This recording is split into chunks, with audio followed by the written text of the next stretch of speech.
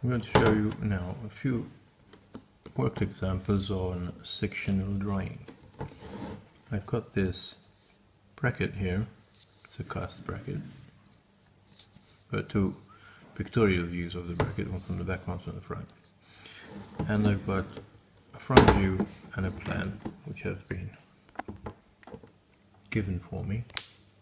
And I want a sectional view taken on the section line XX, which means that for the side view, I need to split it in half, I need to cut it in half,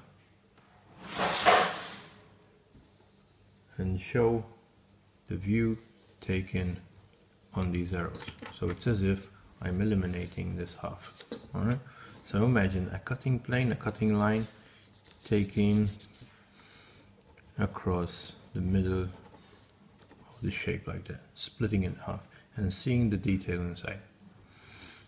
Right, so what I've done so far is I've taken projection lines from the details because you're not given any dimensions but you're given the front and the plan. So all you need to do is project each detail onto the front view, onto the side view from the front view and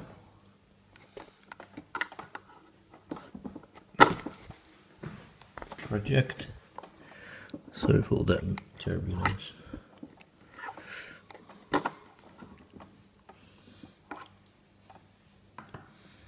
and I've projected onto this 45 degree line so I've chosen I've chosen distance between this point there where the side view is going to start where the plan is going to start and taken 45 degree line to project the details from here up to here now first of all I'm going to consider that this that the view, the side view, is an outside view. It hasn't been sectioned. So the, the outline is not going to change. It's going to be exactly the same. Between a sectional and a front view won't have much difference. So what I'm going to do is imagine that it's an outside view. So look at the base. I've got that detail there. It's outline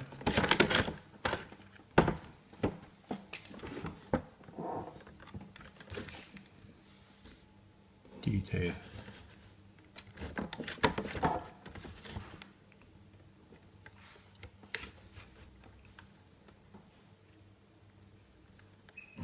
There. Detail at the top. I need this view taken from there. And the inner part taken from there.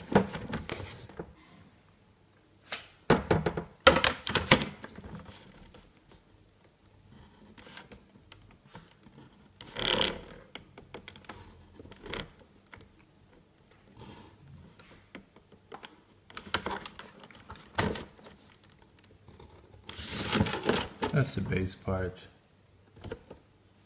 I need to rub that off because I've darkened by mistake the wrong line. Because this part is a bit higher than the front part.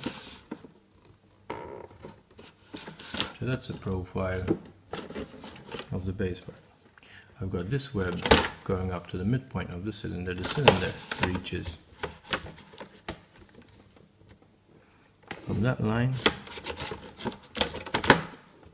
to the front line there.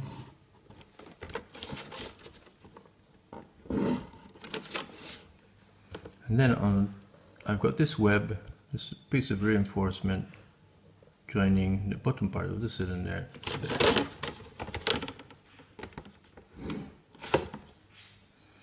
So that would be the profile, the outline of the shape. You still have this web visible going from there to there and the bottom part of the cylinder here.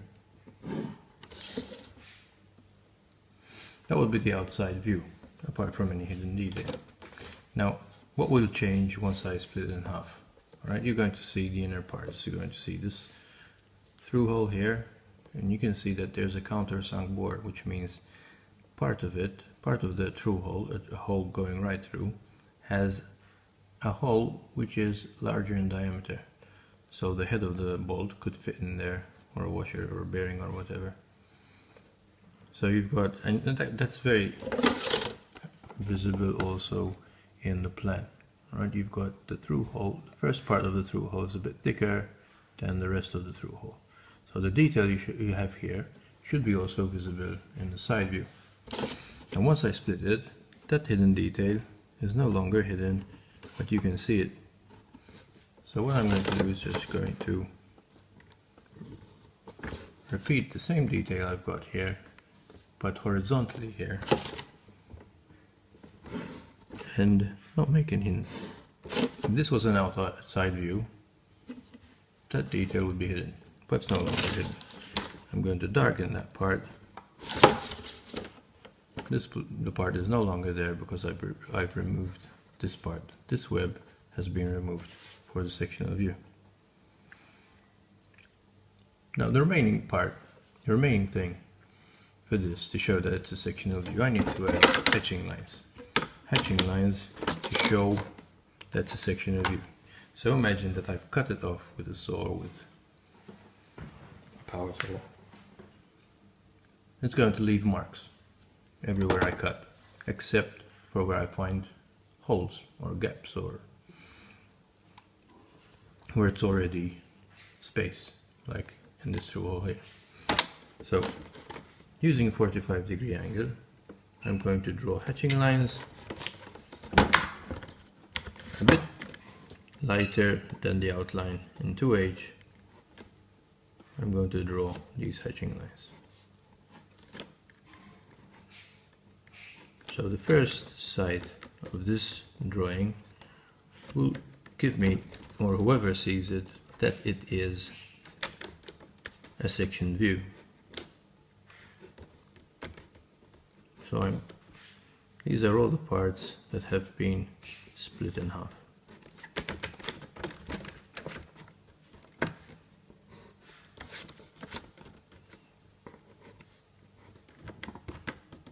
Now I'm leaving part of it not hatched and I'll explain why. Alright, so that's your final section view. Now I should remove also this line here, this horizontal line there. So once you've cut, that that face is all one plane. There's no edges. I've left this part without hatching because I've gone through that web or through the midpoint of that web. Now when you go through webs, you leave them unhatched. So it gives you an indication that that is a web. If this total area will be hatched, you'll think that this is total solid from here to here. But it's not, it's just a web in the middle. That's your final answer, section line. I'm not going to include a hidden detail of these holes one of them has been removed, the other one is on the other side. But if you require hidden detail, you have one there and one there. The cutting plane has gone through this hole, so I've shown it. It hasn't gone through this hole, so I didn't leave part of it there. This view now is called section XX to give you an indication of where it has been cut. Thank you for following.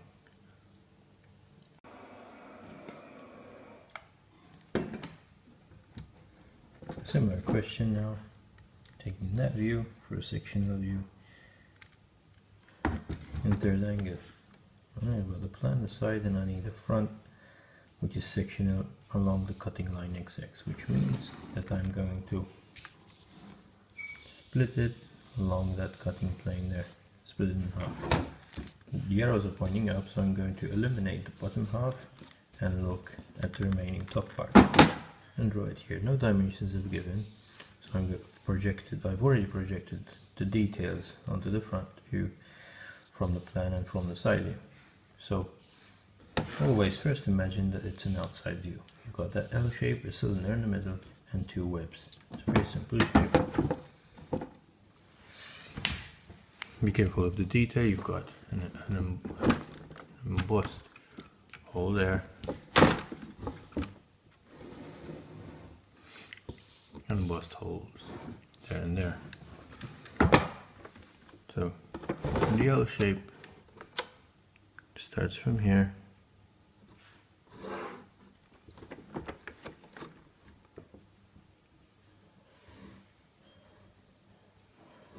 That's where cylinder starts.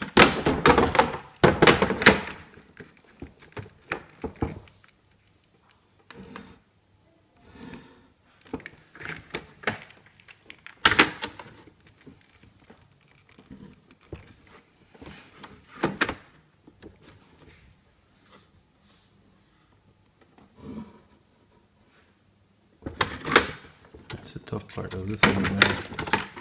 I've got a web joining this part to there. And this part to there.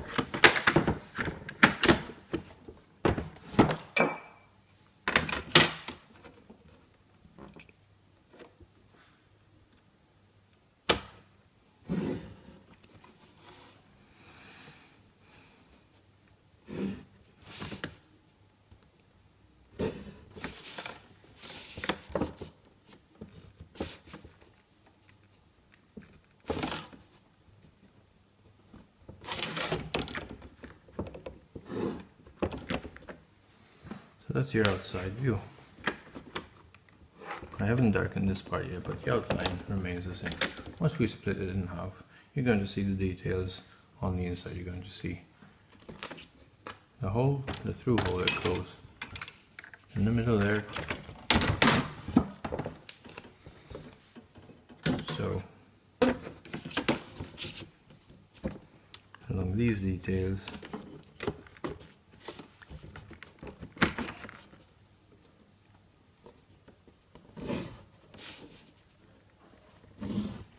Two points there.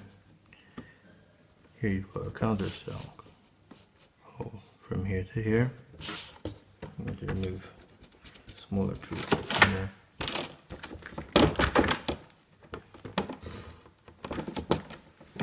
And that joins those two parts.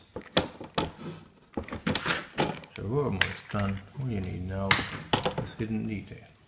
Now I'm not going to add the through holes here because cutting plane hasn't gone through them. So one is on here on the other side, the other one has been eliminated. So taking 45 degree angles, try to use a 2H pencil. I'm going to add hatching lines at 5 millimeter apart, equally spaced. Now I'm going to leave out the two webs because the webs don't take sectioning and the true holes don't take sectioning. If it has already open like a true hole or a slot or a gap, make sure that you don't section it. Try to make neat hatching lines equally spaced. So there's your section of view of the section part. I'm going to add a center line through the through hole to show that it's actually a through hole. Right? So there's not much difference in the out in the work if it's just a normal outside view or a sectional view. But any hidden detail that goes through the and where the cutting plane goes through now is going to be visible. The projection symbol, since it's third angle, would be a circle, two concentric circles, and a trapezium. Alright, try to do these in instruments, not as I have done here. And that's your projection symbol for third angle projection. Here on the other question, that's the first angle projection symbol. Thanks for following. This is another worked example on sectional views. See this, this pictorial view The front view and the side view have been given. The section line should be taken along this staggered section line. It's not a straight section line, it's being staggered. Here changes direction, it goes through these through these two through holes here. Doesn't make much difference in our question. I finished the drawing. See, this part there's no sectioning, so I haven't sectioned that. It's a normal W, normal plan. This part has been sectioned, so I've sectioned that part. The through hole now is shown because I've removed the top part. Remove the top part and left the bottom part. This change of direction doesn't make a difference here. And that web, now I've drawn the hatching lines because it hasn't been sectioned along its cross section, but it has been sliced right through. So you show your section lines in webs whenever it's sectioned in this direction. And you see the two through holes there. So sectioning here, sectioning here, and sectioning here. So that's a, it's a sectional view. It's not much different from the outside view, but you've got section lines and the hidden detail are shown. Thanks for watching.